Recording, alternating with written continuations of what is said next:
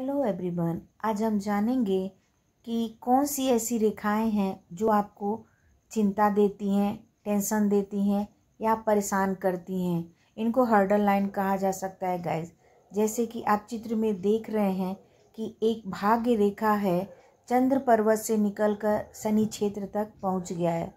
फिर आप देख रहे हैं कि लाइफ लाइन से तीन चार आड़ी रेखाएँ जो हैं आपके फेट लाइन को लक लाइन को काट रही हैं। अगर ऐसी रेखा आपकी हथेली में है गाइज़ आप जैसे आप चित्र में देख सकते हैं, अगर ऐसी रेखा रहने पर गाइज़ आपको टेंशन चिंता हो सकता है। आपके करियर में आपके जो जॉब है, नौकरी है, उसमें आपको टेंशन मिल सकती है, परेशानी आ सकती है।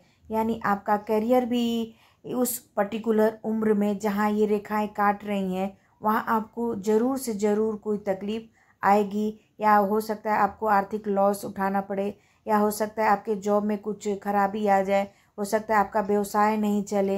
यानी कुछ ऐसी घटनाएँ घटेंगी गाइस पर्टिकुलर इस उम्र में जिससे कि आपको बहुत ज़्यादा तकलीफ़ हो सकती है या फाइनेंशियल लॉस हो सकता है या फिर आपका बिज़नेस ठप हो सकता है। यानी कैरियर भी आपका बर्बाद हो सकता है। और साथ ही साथ ऐसे लोग जो आपको बहुत बुराई करेंगे, आपका पैर खींचने की